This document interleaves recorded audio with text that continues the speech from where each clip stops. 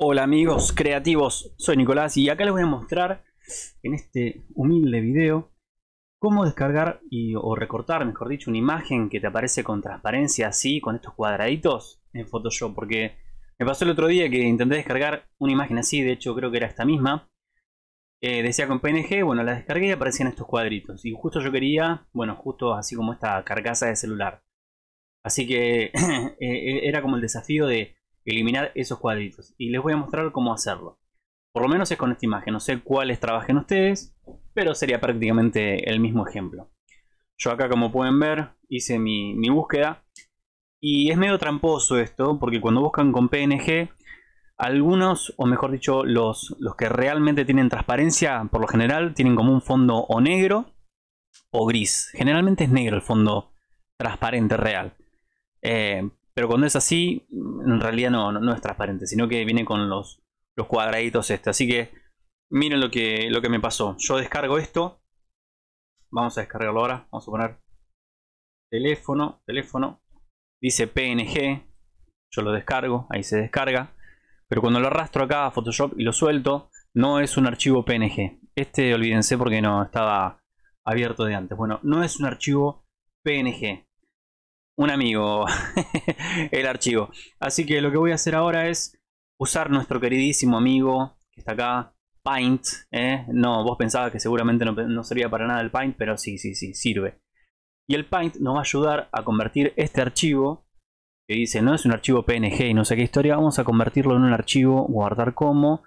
Vamos a guardarlo como JPG, porque para el caso lo mismo, JPG, acá en el escritorio Teléfono JPG. Ahí está, ahora sí. Lo guardamos. Y listo. Muchas gracias Paint. Acá tenemos el archivo JPG. Que al final intentamos que sea PNG, más simple todo. Pero bueno. Tal vez te pueda pasar de que, eh, que querías justo ese, esa imagen. Esa imagen y, bueno, no, no, es transparente. Entonces la conseguiste como, como la conseguí yo, que quería justo esa imagen. Y sin embargo, se te complicaba este, el fondo. Bien. Acá entonces lo que hice fue convertirla para poder editarla en primer lugar. Si eso te pasó, ya sabes cómo con el Paint. Y ahora sí, a tratar de recortar lo que es eh, esos cuadritos. Bueno, tenemos diferentes alternativas. Usar la pluma, tenemos un ratito. O podríamos eh, analizar cómo hacerlo. Bien, tenemos la parte de acá al centro, que esto en realidad es bastante fácil. Porque al ser cuadrado, miren, simplemente lo que voy a hacer es utilizar la herramienta marco rectangular. Trazo desde acá trazo hasta acá abajo más o menos. Eh, en mi caso así porque la imagen es así. Y voy a crear una máscara. Bueno, me la hizo invertida. Control I para invertirla. Y eh, en teoría no sé qué pasó. Ah, sí, ahí está. Listo. Eh, ah, claro, se ve el fondo. Ahora sí, el fondo de atrás es real. A ver qué pasa si lo... Mira, claro, ves, me estaba reconfundiendo.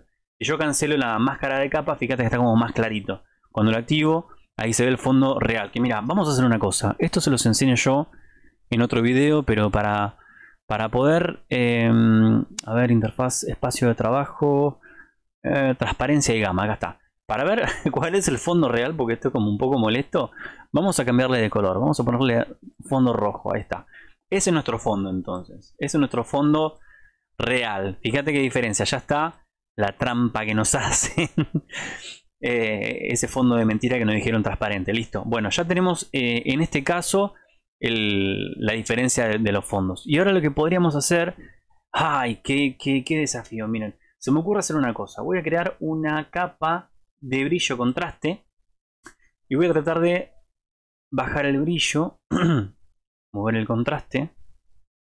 Momentáneamente. Esto no se aplica a todo. A ver ahí.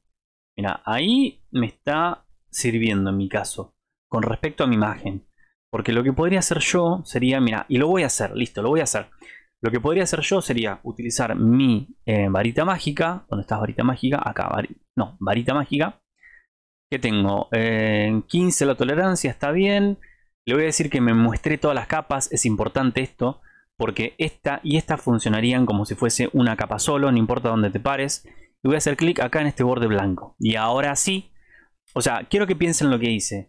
Lo que hice fue como saturar o, llevar al blanco puro lo que es el del fondo o toda la imagen. Y como acá se genera ese contraste entre el fondo y el borde este de la imagen real, yo puedo seleccionarlo más fácilmente con la varita mágica, que era lo que yo quería, porque si esto lo hago eh, de esta forma, no, esos cuadraditos me va, va a ser como una barrera entre selección y selección con la, con la varita. Y listo, a ver, lo que intentaría hacer sería pararme acá, acá justamente en lo que es la eh, máscara y ahora rellenar. Vamos a ir a edición, rellenar con color eh, negro sería, ¿no? Sí, o sea, color, este el frontal, con color frontal, que es el negro que tengo acá. Ok, y ahí está, ahora sí, vamos a selección, deseleccionar. Y ahora sí, al fin, por favor, bueno, ese fondo es como el real nuestro. Igual hay un detalle que tenemos que arreglarle antes, que me acabo de dar cuenta. Ponemos un color uniforme, un verde como para darnos cuenta. Ahí está, por acá atrás. Y ahora en la máscara vamos a pintarle acá, fíjate, me quedó, me quedó esto como por fuera. Así que voy a traer la densidad de la máscara un poco para acá. Con este botón de propiedades le das, le das eh, clic acá, doble clic y ahí te sale propiedades. No, ahí se me fue a este otro. Bueno, si no, activas acá las propiedades. A ver, ventana, eh, propiedades. Activas las propiedades, esta ventanita de acá. Baja la densidad, que es como la opacidad de la máscara. Para tratar de ver esto que nos faltó. Y listo, vamos a pintar con nuestro pincel. Vamos a achicar.